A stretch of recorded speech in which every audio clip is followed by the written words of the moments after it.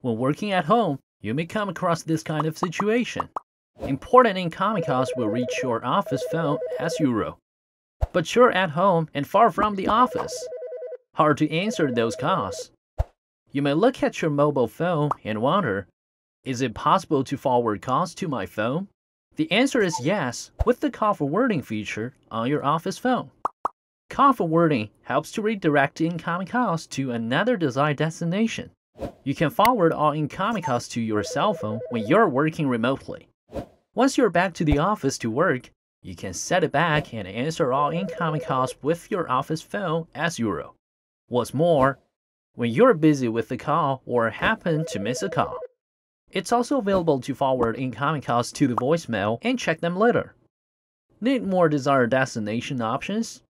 Other extensions, some call features such as IVR and ring group, as well as a custom number. All of them are your choices. So, how to set up the call forwarding? Log in to the PBX Web GUI, choose Settings, find the extension setting page. Edit the extension which needs to enable the call forwarding feature. Choose Presence. Here's the call forwarding feature. We can enable this feature in three ways. Always, no answer, and when busy. Let's check them out one by one. Always means all incoming calls to this extension will be forwarded to the desired destination. No answer means the system will only forward incoming calls when the user happens to miss the call. While when busy means forwarding calls when the extension is occupied.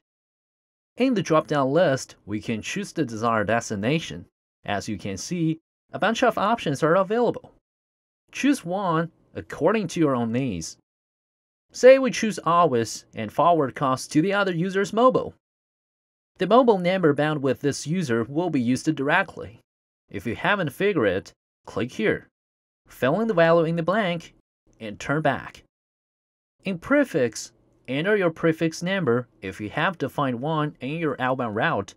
If not, simply leave it empty. Then click on Save and Apply. That was all of our configuration on the PBX. Anyway, generally speaking, call forwarding helps you never miss a call anywhere, anytime. Get more VoIP features for remote working? Please subscribe or visit yeastar.com.